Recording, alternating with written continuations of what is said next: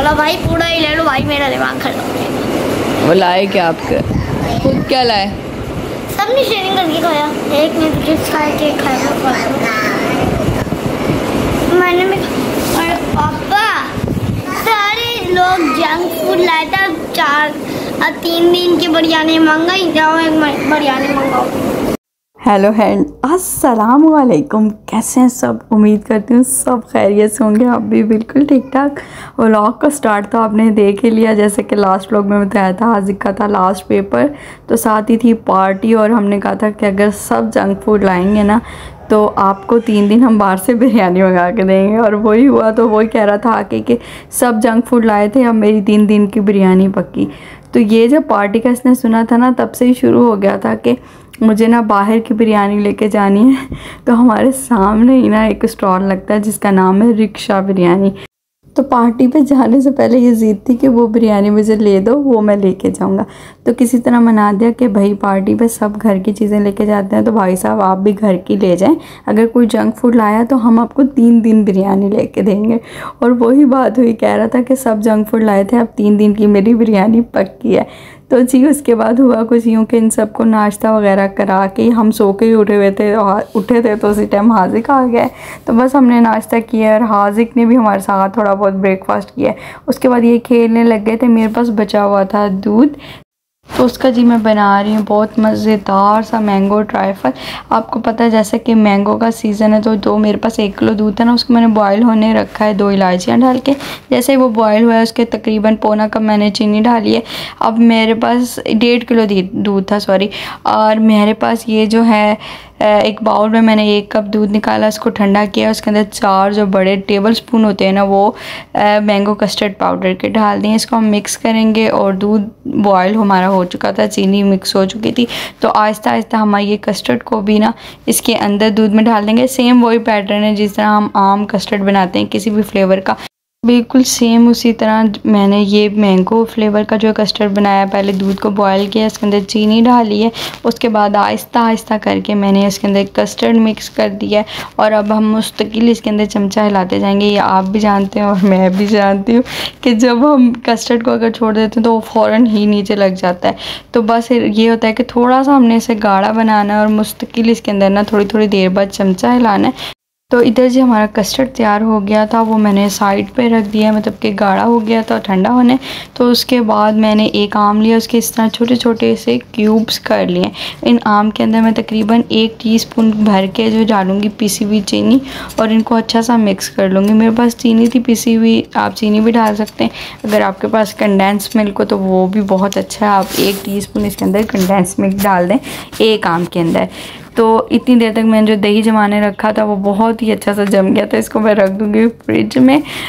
तीसरी चीज़ जो मुझे चाहिए वो इसके लिए कैंडी बिस्किट चाहिए। तो दो पैकेट मैंने कैंडी बिस्किट लिए थे और इनको एक ये साफ़ सा मेरे पास शॉपर है जो मैं फ्रीज़ करने के लिए भी कोई भी चीज़ इस्तेमाल करती हूँ ना, वो वाला ही शॉपर था। तो मैंने बस उसके अंदर ये दोनों कैंडी बिस्किट डालें और इसको मैं किसी भी चीज़ की मदद से आप बेलने का भी इस्तेमाल कर सकते हैं, जिससे हम रोटी बेलते हैं। मेरे पास ये जो है मतलब मसाला पीसने वाला डंडा था तो मैंने इससे ना बिल्कुल बारीक बारीक सा ना इसको पीस लिया इस डंडे की मदद से।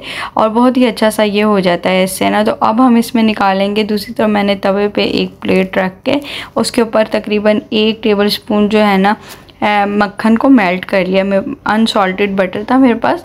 इसको मैंने मेल्ट कर लिया और थोड़ा सा मैंने बस निकाल लिया ऊपर गार्निशिंग के लिए।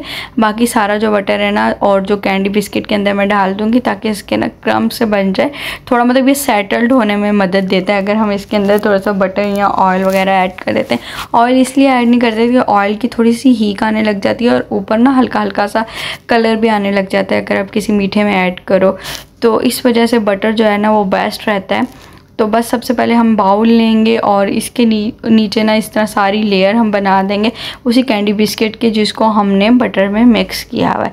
सारी लेयर पहले ये लगेगी और उसके बाद जो है ना दो लेयर्स और लगेंगी और हमारी बड़े मज़ेदार सा ये ट्राइफल जो है ना तैयार हो जाएगा।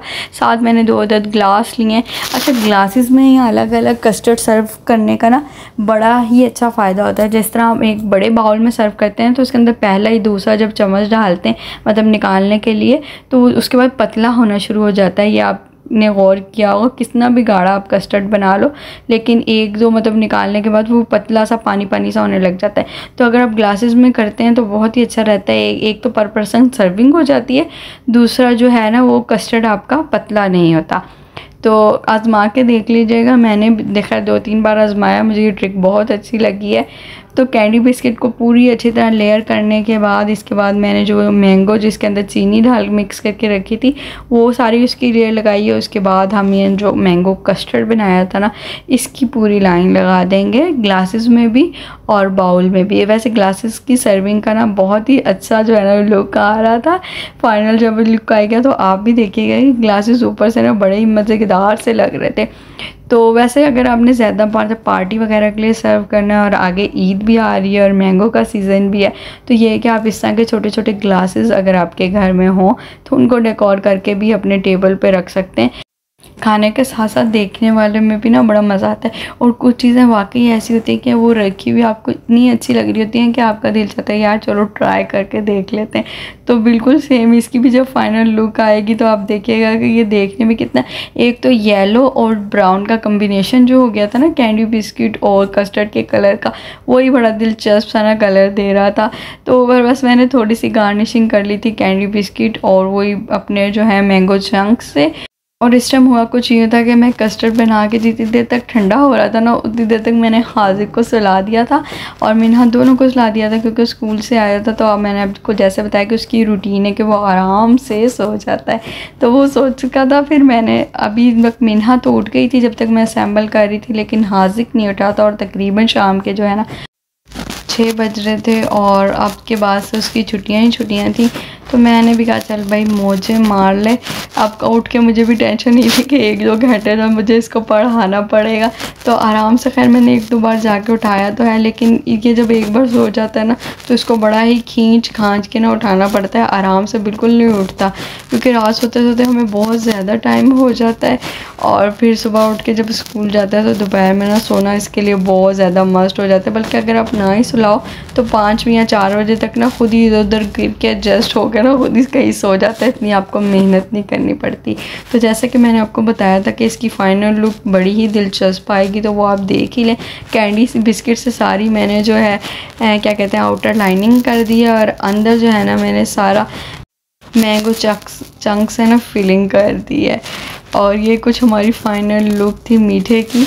देखें और फिर बना के ज़रूर ट्राई कीजिएगा। इस ईद पे कर लें या ईद से पहले कहीं आना जाना है, किसी को भेजना है। मेरे पास तो दूध बचा हुआ था तो मेरा तो ये मीठा बन गया है। बस अब मैं इसको रैप करके, किसी भी आप ऊपर कोई लीड दे सकते हैं, मेरे पास ये रैपिंग शीट थी, मैं इससे रैप कर दूँगी। इससे रैप करने का सबसे बड़ा फ़ायदा ये होता है कि फ्रिज में जो और चीज़ें पड़ी होती हैं ना, उनकी खुशबू आपके मीठे में नहीं आती हैं। आपकी चीज़ की मतलब जो आप नई चीज़ ऐड कर रहे हैं फ्रिज में, उसकी खुशबू जो है ना, वो फ्रिज में नहीं मतलब किसी और चीज़ में नहीं जाती। वरना एक वो अजीब सी जो खुशबू अगर आपकी किसी चीज़ में शामिल हो जाए तो वो खाने में बिल्कुल अच्छी नहीं लगती।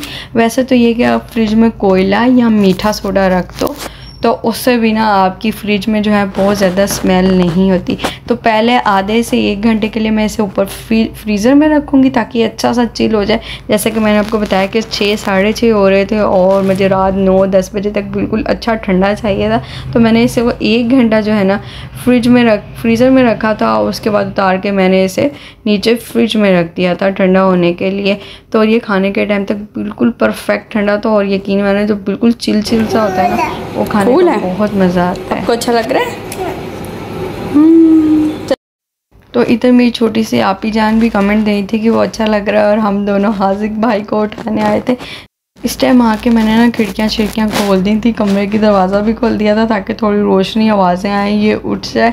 तो अब थोड़ा बहुत हिल के खैर दोबारा सोया था लेकिन उम्मीद थी कि आधे घंटे तक उठ जाएगा। उसके बाद जी मैं बना रही थी मटन यखनी पुलाव। जिसके लिए तकरीबन मैंने तीन पाव गोश्त लिया था और हड्डी वाला और मतलब बोनलेस दोनों मिक्स था मटन के गोश्त। और इसके अंदर तकरीबन मैंने तीन टीस्पून भर के ना नम, मिर्च नमक के डाले थे। एक टेबल स्पून भर के मैंने जो है धनिया डाला था साबुत धनिया दो मैंने लहसुन के बड़े बड़े जवे डाले थे पाँच अदद मैंने साबुत लाल मिर्चें ये जो होती है ना ये डाली थी दो अदद मैंने बड़ी इलायचियाँ डाली तीन अदद छोटी इलायचियाँ डाली थी एक टी ज़ीरे के डाला था चंद जो है मैंने काली मिर्चें डाली थी और पाँच छः अदद लौंग डाले थे। इन सब के साथ मैंने ना इसको इतना पकाना है मतलब मेरे पास मुझे चाहिए थे पाँच गिलास यखनी के चावलों के डालने के लिए। जैसे कि मैंने ढाई गिलास चावल लिए हैं तो मुझे पाँच गिलास यखनी चाहिए थी तो मैंने गोश्त गलाने के लिए जो है ना, वो रखे थे आठ गिलास। तीन गिलास में गोश्त गल जाएगा और बाकी पाँच गिलास मुझे जो यखनी रिमेनिंग रहेगी, वो अपने चावलों में इस्तेमाल कर लूँगी। और मैं प्याज डालना भूल गई थी तो एक अदर दरमियाना प्याज मैंने इसके अंदर डाल दिया था।